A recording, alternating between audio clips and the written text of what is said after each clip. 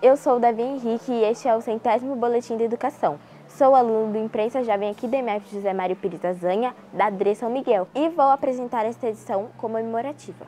Na MF Professor Gabriel Silvestre Teixeira de Carvalho, da DRE Pirituba, os alunos do sétimo ano fizeram releituras dos retratos cubistas do pintor Pablo Picasso. Depois, as obras viraram uma exposição virtual. O trabalho foi feito nas aulas de artes da professora Simone Santana.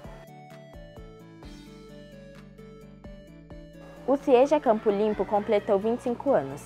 Na semana passada teve festa com lanche comunitário, show de rap e inauguração das luzes do jardim. A dona Eda, que foi diretora da escola por muito tempo, foi homenageada.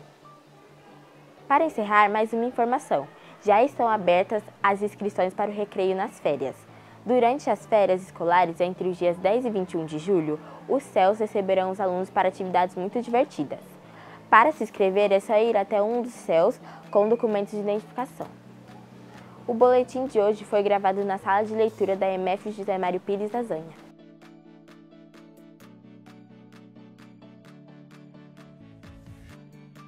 Por hoje é só. Até a próxima!